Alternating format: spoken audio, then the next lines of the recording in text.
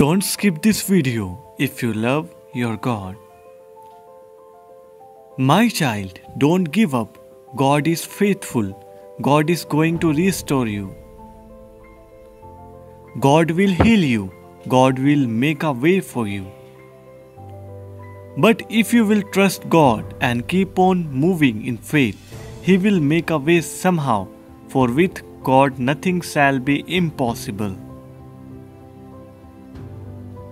God knows your situation. Trust and give your case to Him. Remember that He is always by your side.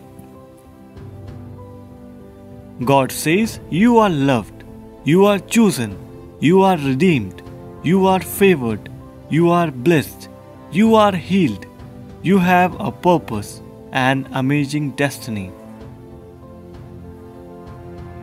If someone is on your mind, pray for them.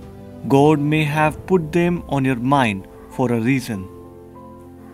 Repeat this prayer Lord Jesus, you are my strength and I need you. Heal me, heal my family, heal my friends. I place my hope in you. Amen. Type Amen in the comments and must subscribe to this channel and get blessed today.